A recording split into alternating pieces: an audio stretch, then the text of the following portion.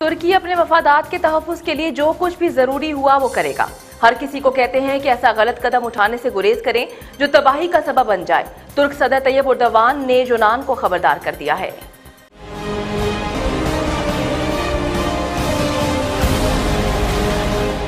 सदर उर्दवान ने बहरा असवद में गैस के वसी जखार दरियाफ्त होने के बाद यूनान के साथ मशरक बहरा रूम और बहरा असवद में समंदरी हदूद पर पैदा होने वाली कशीदगी के तनाजुर में बात करते हुए कहा है कि तुर्की की नज़र किसी और मुल्क की सरजमीन खुद मुख्तारी और उनके मफादात पर नहीं है। लेकिन जो कुछ कानूनी तौर पर उसका है, वो उस पर कोई समझौता नहीं करेगा। यूनान को खबरदार करते हुए कहा है कि ऐसे इकदाम करने से गुरेज करे जो उसकी बर्बादी का बायस बन सकते हों।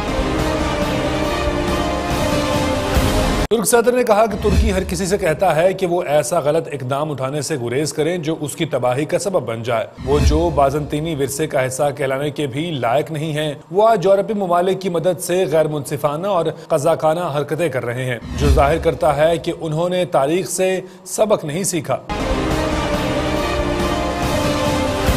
दूसरी जानब, जर्मनी, तुर्की और यूनान के माबैन समंदरी हदूद पर पाए जाने वाली कशीदगी को कम करवाने के लिए मसालहती कोशिशें कर रहा है। जर्मनी के वज़ीर खारजा हैकुमास ने तुर्की के वज़ीर खारजा महलोद चाउशोलो से मुलाकात की, जिसमें तुर्की के वज़ीर खारजा ने तमाम उमूर को बातचीत के ज़रिए हल करने की कोशिशों पर आमादगी ज़ाहिर की है।